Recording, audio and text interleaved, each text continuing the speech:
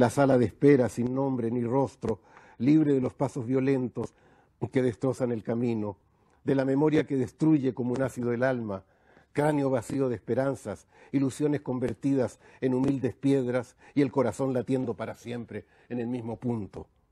Yo había atravesado la vida como un balazo durante 43 años hasta que naciste tú.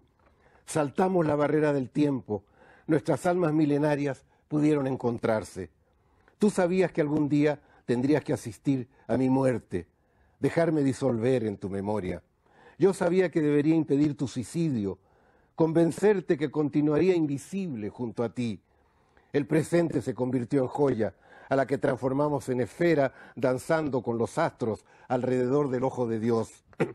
con euforia mezclada de tenebrosa angustia, vimos la eternidad en cada segundo y al infinito acurrucado como un gato junto a nuestros pies. Nuestros corazones aprendieron a latir al mismo ritmo. Conversamos sin cesar, con las bocas pegadas, una junto a la otra. Le dimos a nuestros cuerpos cadáveres el orgasmo que los vestía de ángeles.